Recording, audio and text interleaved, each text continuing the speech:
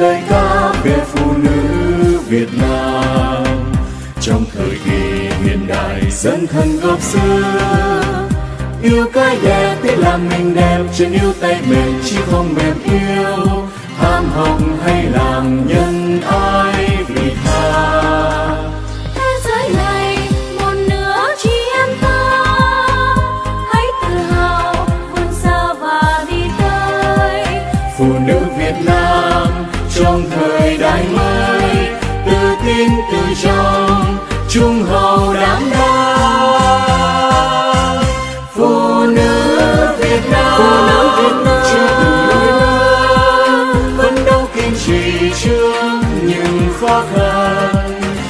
gan một mình thiên chức vinh quang thầm lặng góp công vì nhà Việt nước truyền thống sang người chứng chiếu năm xưa.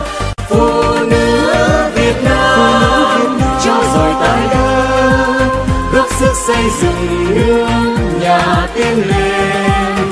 Nguyện vì lời dạy của bác khi xưa, cho đời tin thơm anh hùng bất khuất.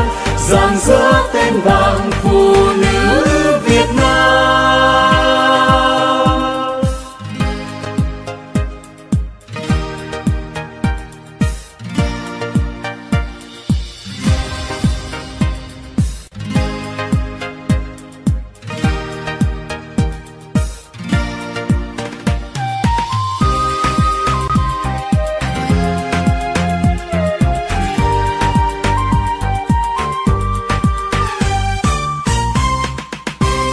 cất lời ca về phụ nữ Việt Nam.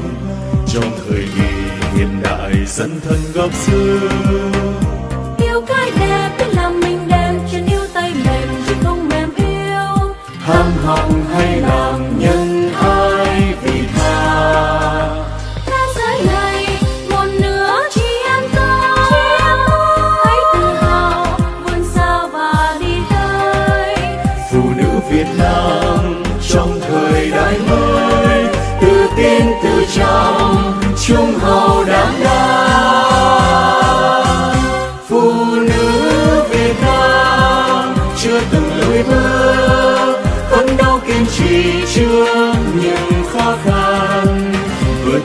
một mình thiên chức vinh quang, thầm lặng góp công vì nhà Việt nước truyền thống sang ngời chừng chiều năm xưa.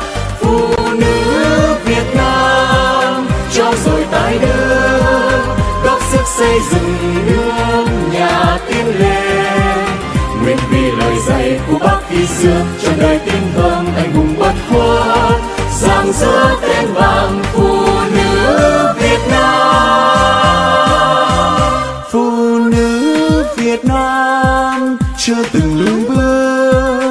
phấn đấu kiên trì trước những khó khăn.